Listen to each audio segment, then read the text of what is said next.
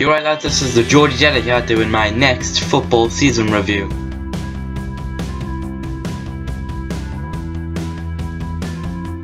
Liverpool have had an amazing season. They finished second and they, should have won the Premier League, you know, it was Gerrard's slip among other things, but there were a couple of other things that really messed up their season and that only got them second. So you know, when you have two or three big mess ups and you end up second, you have to say that they're a brilliant team. So they should have won the Premier League. You know, Man City didn't deserve it, in my opinion.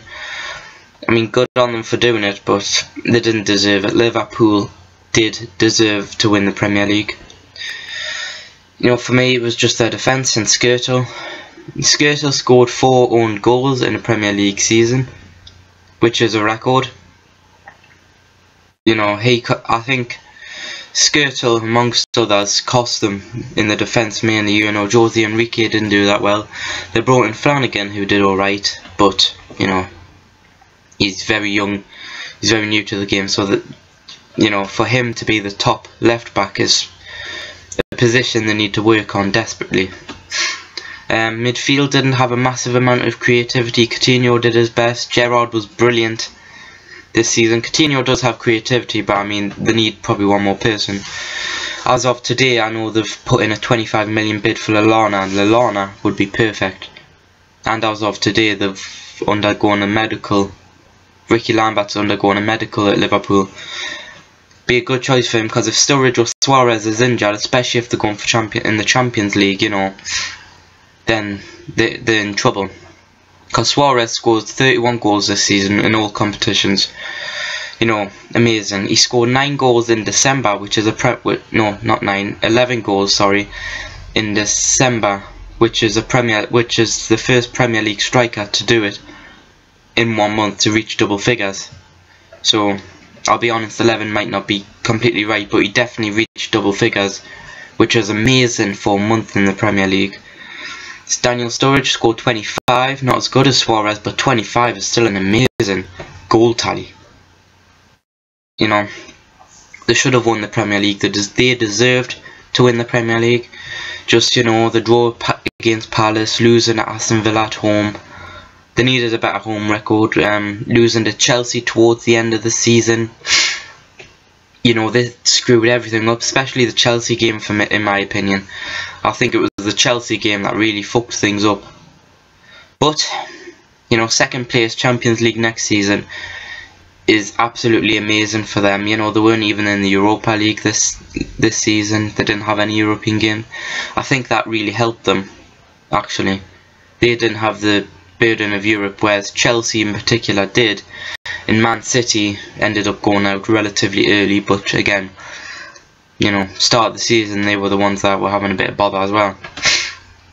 For me, next season is going to be amazing. If Liverpool do what every other club I'm pretty much going to talk about should do is invest. Now luckily, you know, um, Liverpool are investing. You know, like say they might have Rickie Lambert by the end of today because he's undergoing a medical. Um, Lallana, they might have him him by maybe 1st of July. You know, maybe because obviously before he goes to the World Cup is preferable, but I don't think 25 million will get him. I think it'll just be below Southampton's va valuation. They'll probably want 30 million. If they get him, good on them. To be honest, but it'd be stupid from Southampton. You know, they've already lost Pochettino. But Liverpool invest. You know, backup striker. Hopefully on the way today. You know um, amazing amount of creativity in midfield if they get Lallana. But funny enough, something that hasn't been mentioned much is defenders that haven't been mentioned, which is the one place where they need backup. You know, I don't, I, I like Agger. Um, Johnson's been terrible this season, but I don't think he's a bad player. He's just, you know, he's not, he's not going to get you. He doesn't deserve to be in a second place team. He's not that good. Um, obviously they've got Enrique who's become second choice behind Flanagan, who's alright, but he's still very young. You know, the need to bring in, there's also Aly Cissokho, you know, and he's, I think he's on loan, so he might be leaving if he isn't. Still, you know, they need a top left back. For me, maybe David Alaba. I know he's big and he's in Bayern Munich and you know, but to be honest, I think Alaba could probably do with a change himself. Liverpool would be perfect in my opinion, but you'd have to spend through, you'd have to spend a massive amount to bring David Alaba. Centre backs, again, you know, there's there isn't a massive amount of choice, I suppose.